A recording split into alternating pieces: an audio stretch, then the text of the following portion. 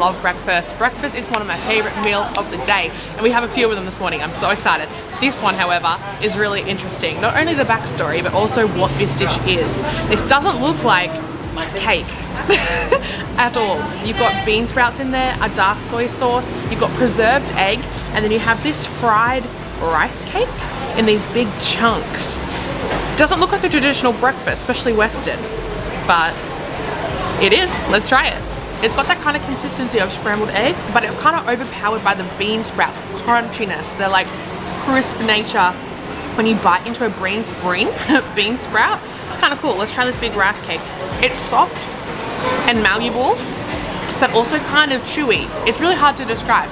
It is a very strong taste. I think of sauce. That's really good. Breakfast, not so much a Western one, but I could have this here for breakfast, I think. Closer than chicken and rice for me. so that was five